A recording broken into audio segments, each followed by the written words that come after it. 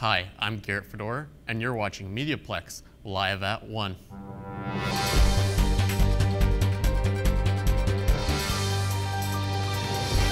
The Independent Police Oversight Group was in Windsor recently. Ryan Blevins tells us more.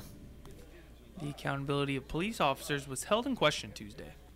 The Independent Police Oversight Group made a stop at the University of Windsor in an effort to help the government.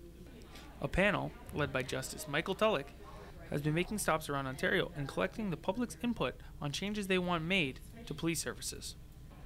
Windsorite Tim O attended the meeting and said he found the conversation very interesting. but I think it's uh, pretty, interest- pretty interesting uh, knowing that there's a governing body, right, that uh, listens to the public. Nearly 50 Windsorites attended the event. Attendees were given 45 minutes to discuss policies that they would like to see changed. Danielle Robitaille is the counselor to the independent reviewer of the Independent Police Oversight Group and says she is not sure what will come of this, but it will take time.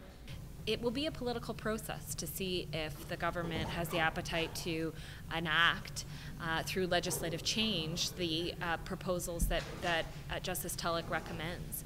Um, and you know, with all political processes, it, um, you know, the public's reaction will be a, will be a key part. I expect. The final review, which is said to be submitted to the Attorney General, will be finished by Justice Michael Tulloch and made available March 31st. For MediaPlex News, I'm Ryan Blevins. Turning to weather, today we will see a mix of sun and clouds with a high of 6.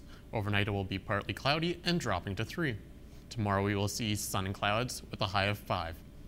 Thanks for tuning in. I'm Garrett Fodor, and you have been watching Mediaplex live at 1.